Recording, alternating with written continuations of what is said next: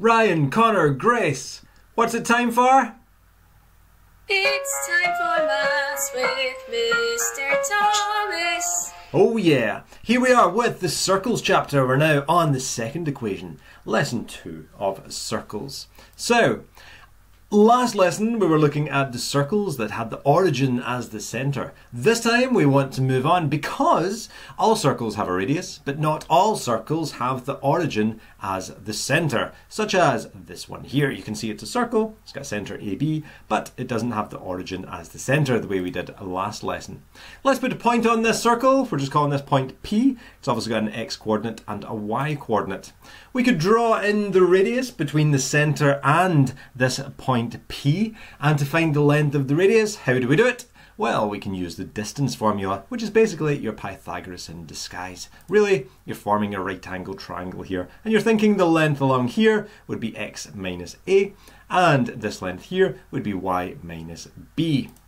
If you do that, then you get the general equation r squared equals x minus a all squared plus y minus b all squared. So using the distance formula, or just really using Pythagoras, that is what you would get.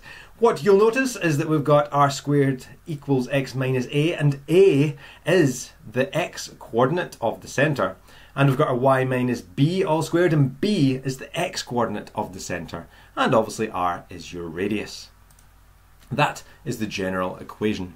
So let's move on to some examples. Write down the equation of each circle. So with the first one, if we've got a centre which is 3, 4 and a radius of 2, what would the equation look like for that circle? Well, the equation is going to be r squared equals x minus a all squared. So let's deal with this bit, x minus a. So if the centre was 3, 4, well a is the centre, uh, is the x coordinate of the centre. So we'd have x minus 3 all squared. If you've got y minus b, well b is the y coordinate of the centre, so you've got y minus 4 all squared. And that would equal your radius squared, so that would be equal to 2 squared. Which then would give you x minus 3 all squared plus y minus 4 all squared would equal 4. You don't have to multiply that out, you can just leave it in that form. Next one, if you have the centre 5, negative 1, well again, you're thinking the same thing. It's x minus a, so it's going to be x minus 5 all squared. Plus y minus b will be as negative 1, so it's going to be y take away negative 1 all squared. And that would equal r squared. The radius is 6, so that would equal 6 squared. From there, tidy it up a bit. So x minus 5 all squared, I'll leave that. y take away negative 1, you can write as y add 1 all squared. And that would equal 36. Next one, you've got the centre 0, negative 2. The radius this time is 2 root 3. Once again, if you write it in that form, you've got x minus uh, this value a, so it's going to be x minus 0 all squared, plus you'd have y minus negative 2, so y take away negative 2, all squared, and that would equal r squared. So here the radius is 2 root 3, so we've ha we would have 2 root 3 all squared. From there, tidy that up. So x minus 0, well, you could just write that as x all squared. So just x squared. y, take away negative 2, would become y plus 2 all squared. And if we're squaring this 2 root 3, it would be 2 root 3 times 2 root 3. From there then, you'd have x squared plus y plus 2 squared equals, well to multiply this, I'd probably multiply the whole numbers first of all. So 2 times 2 would give you 4. Root 3 times root 3 would give you root 9. Square root of 9 is 3. So you end up with 4 times 3, which gives you 12. And that is the equation of that circle. Let's move on to example number 2. State the centre and the radius of these two circles. So this time you're given the equation and we're looking for the centre and the radius. So for this one here, I've got an x minus a, so I've got an x minus 1. The value of a then is going to be 1, so the centre will be 1. It's whatever you're taking away, because you're taking away a here, you're looking to see what you're taking away. You're taking away 1, so it becomes 1. And here you've got y minus b. Again, what are you taking away there? Well, you'd have to be taking away negative 7 in order to get plus 7. So y take away negative 7 would make it plus 7, so that is why that would change. And from there, you want to write down the radius. Well, you know that's all equal to r squared, so you know r squared would equal 16. And if r squared is 16, well, r would equal 4. Woohoo! Next one. We've got x minus 2 all squared plus y squared equals 40. Again, we want the centre and the radius. So, what are we taking away this time? Well, is x take away 2. So you know the centre, the x coordinate will be 2. And the y coordinate, well, we're not taking anything away. It's just y squared. So the y coordinate would just be 0. So you have the centre 2, 0 r squared is going to be equal to 40 this time, so r would be the square root of 40. However, don't just leave it as the square root of 40, use some work with surds and simplify that. So two numbers multiplied to give 40, you want one of them to be a square number, so you've got 4, which is your square number, times 10. So write that as root 4 times root 10.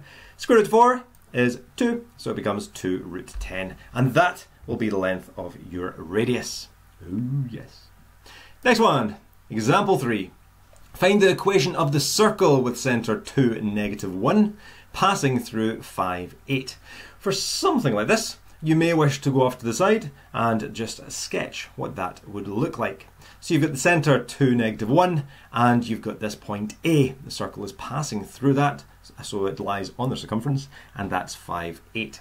For this, obviously, you're needing the centre, and you are needing the radius. Well, the centre, you have that. You know it's 2, negative 1, so you could easily get this part here, okay, with x minus a all squared plus y minus b. You just need the centre for that. But we'd also need the radius. So how could you go about finding the radius, Madiha? What could you do? Brilliant. Well done. You just work out the length from A to C, or from C to A. So doing that, you could say, again, just use the distance formula. So the radius squared, or AC squared, would equal Remember, take away the x coordinates and square that. Subtract the y coordinates and square that. So you'd have 5 take away 2, all squared, plus 8 take away negative 1, all squared, which will give you uh, 8 plus 1 in the second bracket. Work that out, you get 3 squared plus 9 squared, which becomes 9 add 81, which will give you 90. So r squared, the radius squared, is equal to that length, AC of squared uh, which would equal that, so that equals 90. However, you don't have to go further, you don't actually have to work out the length of the radius because in the formula we've just got r squared in here. Hello! So, because we've worked out r squared, we can just sub that into the general equation. So we can say then that 90 would equal that x minus, well the centre here is 2, so it's going to be x take away 2, all squared, plus y minus negative 1, so it'll be y plus 1 all squared. And That would be the equation of that circle. Next one, example 4. So A is 2, 5 and B is 8, 13 and they are diametrically opposite. Ooh, fancy word. It just means that they are opposite ends of the diameter. Find the equation of the circle passing through AB.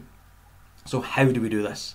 Again, if you go off to the side and sketch this, you've got your x-axis, your y-axis, you've got the point 25 and you've got the point 813. You know that they lie at opposite ends of the diameter. So that length from A to B will be a diameter. So you can draw in your circle and it will pass through those points. To get the equation of the circle, remember you need the centre and you need the radius. So the centre of the circle, well, how do you do that? Yeah, it's just the centre, uh, it's just the middle of this line AB. So you'd have to work out the midpoint of AB. How would you go about getting that, Ryan? What would you do? Good, add the x coordinates and half it, add the y coordinates and half them. So, to get the centre, you would do 2 add 8, which gives you 10, divided by 2 gives you 5. And the same for the y coordinates, 5 add 13 then half it, and you would get 9. So we know the centre of this circle. From there, we need the length of the radius. How do you get the length of the radius? What would you do, Sahana?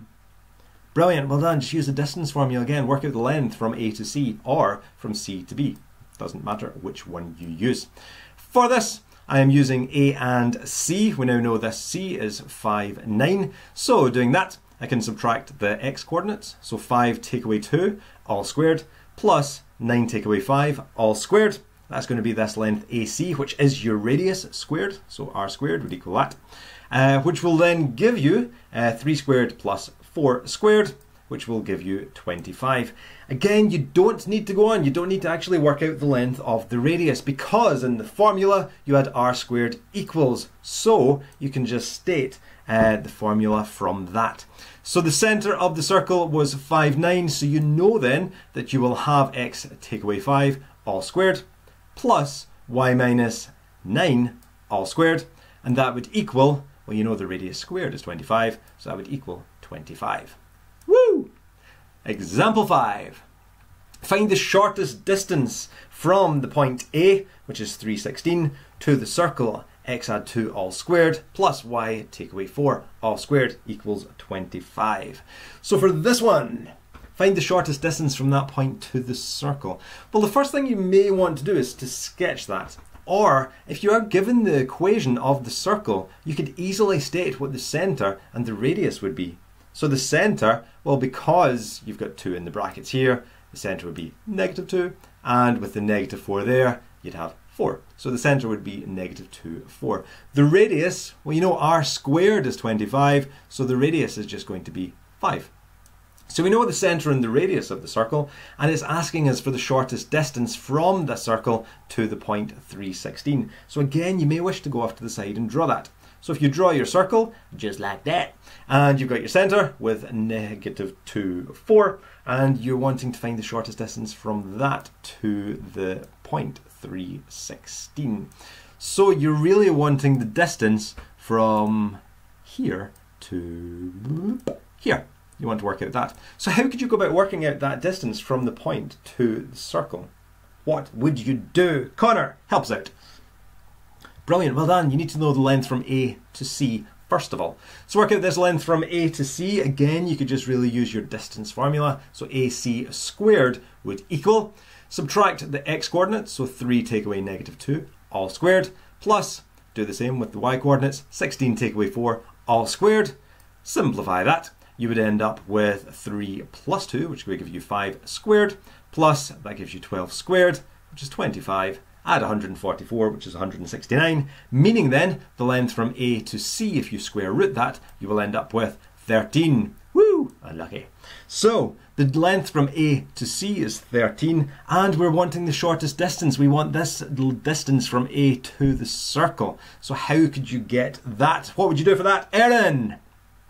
Brilliant, Erin, well done. You are just wanting to take this length from A to C and subtract the length of the radius. So the shortest distance is AC, take away the radius, as Erin just said. Woo! So you'd have 13 take away 5, which gives you, drum roll, 8 units. And that is what you would have for your shortest distance. One final example then. Example number 6. A rectangle has coordinates O, so your origin, 0, 0. It's got A, 0, 4, B, 6, 4, and C60. Find the equation of the circle passing through all four points. So for this then, you've got your rectangle drawn in between these points and you are wanting to work out the equation of the circle. The first thing that you have to realise is that this line from A to C will be a diameter. Also the line from O to B will be a diameter. Which means then that the centre of the circle we're going to call this point D. It will be the midpoint of these diagonals. You obviously don't need both, you just need one diagonal. So let's just go with A and C. So if you draw that line in, again you may wish to go off to the side and sketch that as best you can. But if you draw in this line from A to C, well you draw in the diameter. So the diameter uh, will have, or the centre will just be at the centre of that diameter. So you want the midpoint then of AC so again, to get the midpoint, you will add the x coordinates and half them, add the y coordinates and half them. That should be dead easy, and you get 3, 2. So that is going to be the centre of this circle. From there, well, how would you, or what would you have to work out next? Uh, help us out, Leah. Brilliant. You'd also have to know the length of the radius, or really your r squared. So from there, we can now find r squared using your distance formula once again. So I'm going to use the points A and D.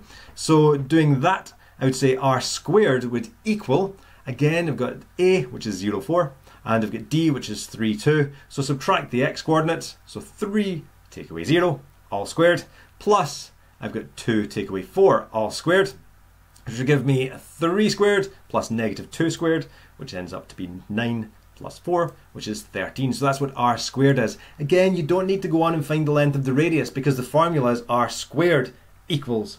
So from there, we know what r squared is, we know what the centre is, so we can just put it into the equation. And for the equation, Muzamil, what would you have?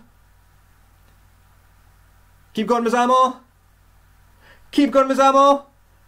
Brilliant, Muzamil. Well done. So you'd have x take away 3 all squared plus y take away 2 all squared would equal 13. Well done. And that is how you would do that. This is the second equation then with the circle. Give these questions a shot in the book. Any problems, just let me know or ask me when you see me. Good luck. Bye.